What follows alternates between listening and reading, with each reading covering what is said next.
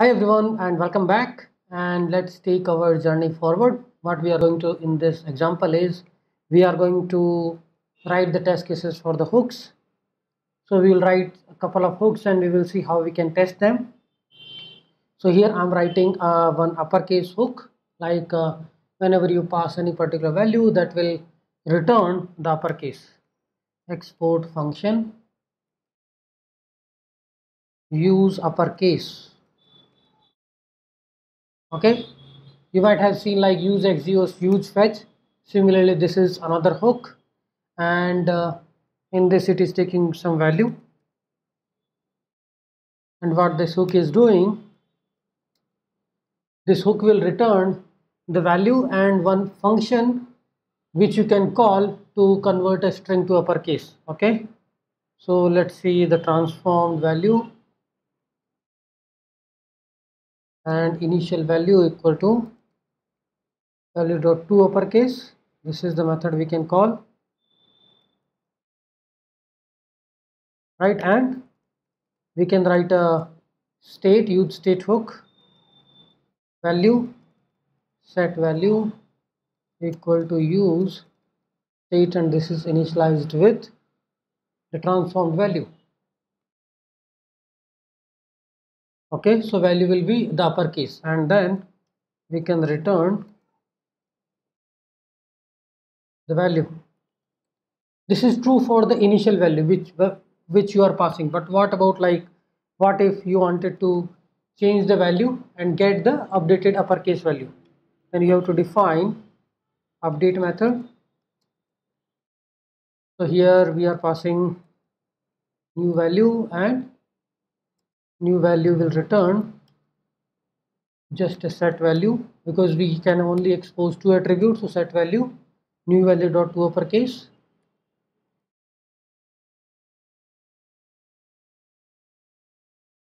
Right? And then we can also use use effect hook. What it will does is based on the initial value it will set the value to the transformed value so here it is. We are initializing this with the empty. We are passing the initial value which is the value which which you are passing.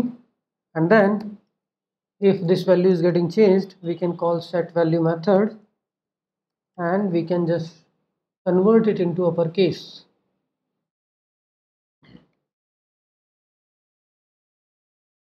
okay this is simple uppercase hook you can see and we have to import stuff like import use state and use effect from react.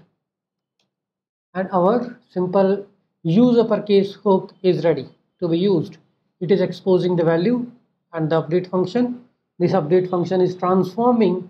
I mean update function is whatever the value you are passing it is converting that into uppercase and returning the value. And value is exposed like this. And whenever this value attribute is getting changed we are whenever this okay we need to change this attribute name otherwise we will be in trouble. So let's call it as initial value. Because in the hook also we are using the same same attribute. Initial value and it is the initial value dot to uppercase so whenever the initial value is getting changed, what we are doing is uh, we are using use effect hook. So use effect hook will update the value to the uppercase of the initial value. So this value we are returning and whenever you can also update that and it will return the updated value because we are setting set value this value will be exposed okay this is let's say one hook now you, you can also we can also work on another hook and can write a simple increment hook. What that does is uh, you have some value and now you can actually increase the value decrease the value like some kind of a counter. And I will write it uh, here. Counter hook.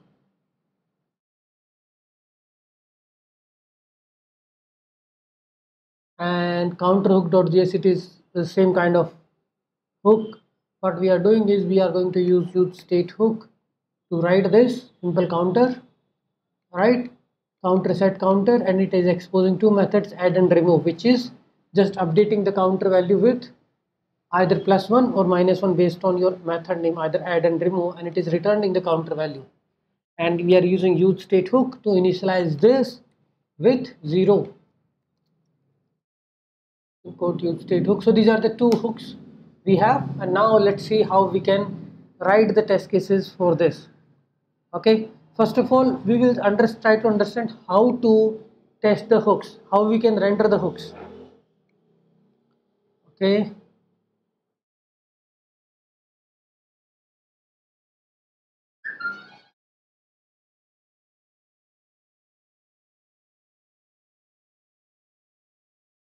okay so inside tests we will create a file hook.test.js okay inside this we will import. Now we are going to use react testing library react hook. Okay first of all import the component from this particular file. We'll go outside and inside this hook we have the component. And then we also need to import stuff from testing library. Testing library react hook. If it is not imported we will import it. Okay so from here we will import render hook. Because this will going this is going to help us to render the hook. And here we are going to import use uppercase and now we can just do a describe it or you can just do a test because you have multiple options to write the test cases. Either you can use a describe it or you can simply write test and then there is a it.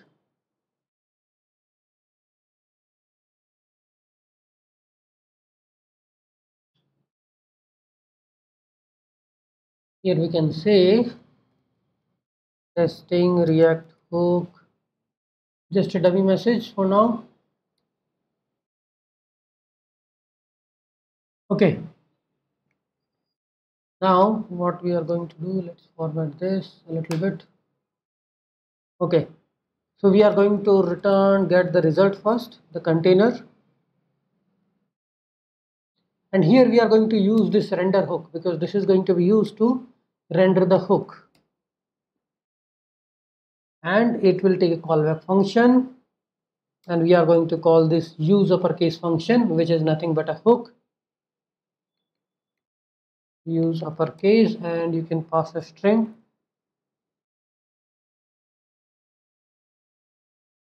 So this is how you will get the result. So test string. And now you can play with the result. Let's see what result we are going to get. We can log it console.log result. Okay now we can act on to this. I mean let's say i wanted to change the value right? I wanted to change the value so i will use this result attribute result dot current. I have seen this in the documentation. From there only i got this information that you have to play with the result object after doing render hook and here i can call update because it is exposing two things value and update. And here i can say is updated. And then once it is done I can expect result dot current dot value because we are exposing two property update and value. And we can just see if this is equal to updated. Not like this it should be totally in the uppercase updated right? So this is our one test case what we are doing is we are accessing the result object and then from the result object we are checking what is the current value. From this we can also act on to this hook by calling a method. Like we have a add update delete. If you see here method counter hook. Here you will get the result and then you can call result dot current your counter is initialized with 0 when you call add it should be the current counter should become 1 when you click on remove the counter should become 0 so same kind of test case we can write there. Okay here is like we are passing we are testing onto some test string. What if you are passing some initial value? Okay we are going to testing react hook with re-rendering. Re-rendering means let's say you are getting something from the props and you are passing that in the hook. Instead of hard coding we are getting this value from there. So let's say we are passing text and this text is being received by this hook and this keeps changing right? And here uh, here we are getting text inside a props. What we can do is we are receiving uh, text inside a prop so we can just get that using destructuring text and then use uppercase. So first argument is a text and another argument is initial props. So initial props initial props we are saying is we are initializing text to text string. This is the initial value but you can also change it. Through re-rendering process you will be able to pass the updated value. So this argument and this should be inside a curly braces.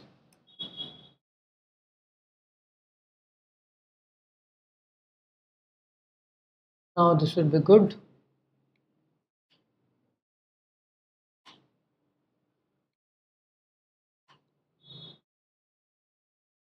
okay. Now what we are doing is it's all about re-rendering right? So how we can trigger the re-rendering? Using re-renderer that we can get from the same library. Render hook re-renderer.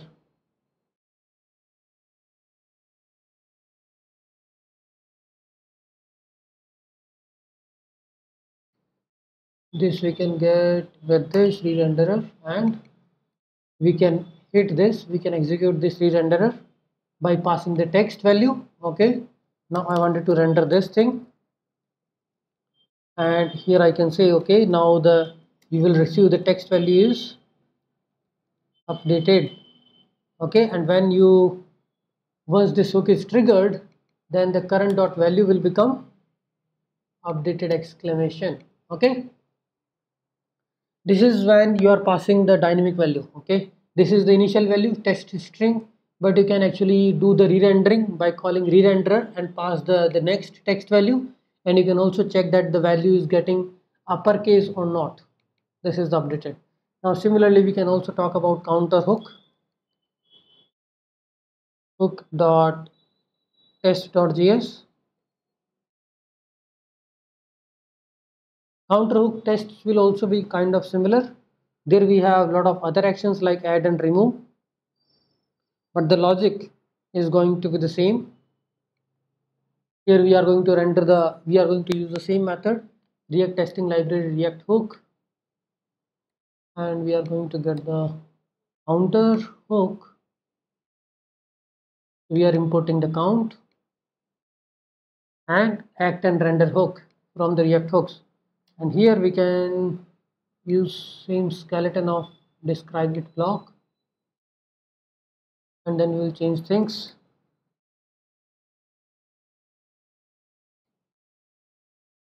Okay here i'm doing render hook.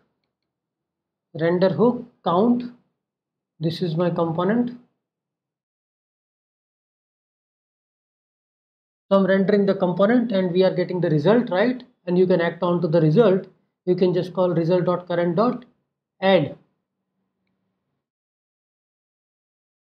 it is not taking any argument. And then result dot current dot counter will become 2b1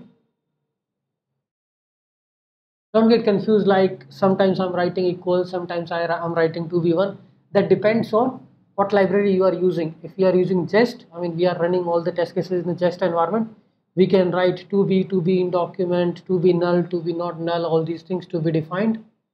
Okay now the next thing is we can render hook and we can trigger the remove. Here only we can test this.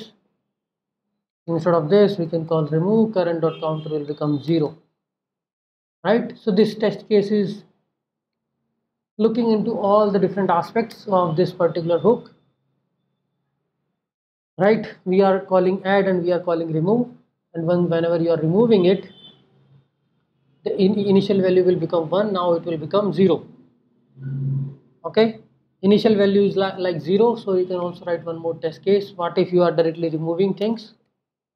Okay you are not doing addition. You are simply saying is result dot current dot remove then it will become minus 1 okay? So let's see that in the execution so here we can see our test cases are passing for the custom hook. And we are using renderer hook and act. Like whenever we need to update or whenever we need to act onto a particular hook. And this re-renderer we are getting from the render hook only. And this is going to help us to pass the new value to the hook and get the expected output. Okay after this like uh, we have covered all the basic things and all you can also take a look on to some other examples. Like here this is an example which is talking about. I mean these are some some of the examples I have pulled down from the github and I will be updating that onto my github repo because these are these can help you to do more things onto the testing. We have already covered all these aspects. Like here what we are doing in the component is we are making an API call. Get name collection is a name API and here you might have some method which you are calling and getting some data now, for writing the test case, this use effect is making an API call. Now you have to mock this, right? So to mock this, you can actually write jest dot spy on. So this API, you will uh, import that API class and you are mocking, you are actually spying on to this get name collection method and here you can return what this method is going to return the value like mock resolved value once, mock resolved value. And explicitly you are saying is whenever the API dot get name collection is getting triggered this is going to be resolve as this value in the test case. And then we can also test okay API dot get name collection been, has been called API dot get name uh, collection has been called with these many arguments this you can do okay so we are assigning this to a stub or anything right? Now what we are doing is first of all uh, we are just checking element before in the document. So now let's see this what it is doing. That name collection is so whenever it is making API call then it should, it should start appearing this data right? Test id name should start appearing in the collection in the in your in your rendered html so what we can do is we can wait for we can wait for something and let's see what we are doing here. We can wait for this element to appear wait for element. So here till now we were using wait for element to be removed right? Here we can use wait for element.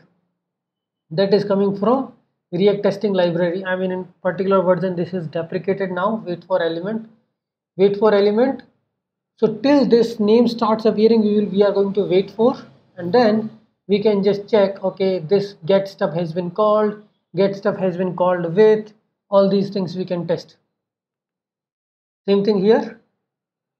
We are spying and we are saying is so using this spy on you can actually change the result of a particular method in each and every test case. Here what we are saying is we are doing a spy on get name collection from the API module and we are saying is it is going to return us these two array elements instead of one.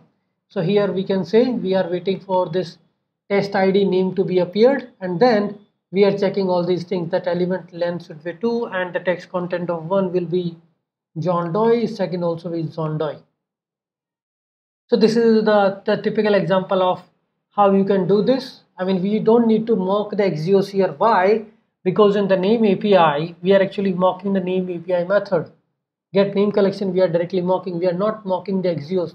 Now once you mock the get name collection inside this you can write anything. You can write axios fetch or whatever. We don't need to worry about what is the content inside get name collection. We are mocking we are spying on this name api api dot get name collection. So inside this it can be anything. We are just mocking and we are just saying okay spy spy on api uh, get name collection in the api and we are resolving I mean we are returning this array as a resolved value from this API call. now get name collection can be anything. It can be a you are writing a file reading a file you are reading it from the network using axios fetch node fetch anything. So this is also if you don't want it to mock axios create a separate class like uh, class api write write your get put post delete method and then create a spy on api get. Api get user update user delete user and then you can also resolve the value. Because we are mocking the outer wrapper not the the the low level details of the axios okay? So similarly there are other examples also like name edit this example is talking about simple uh, text field. Like here we have a simple use state hook and when you, whenever you do the on change event we are setting the username and we are printing the username here. So what can be the simple test case is initially when this component renders this test id username label should be empty username input should be empty the content inside this. But when you start when you do a change trigger when you trigger the user event change on to this then this username value will become same as this username property. So if you see what we are doing first we are checking that this is rendered with empty value. Okay? Label element input element both are empty.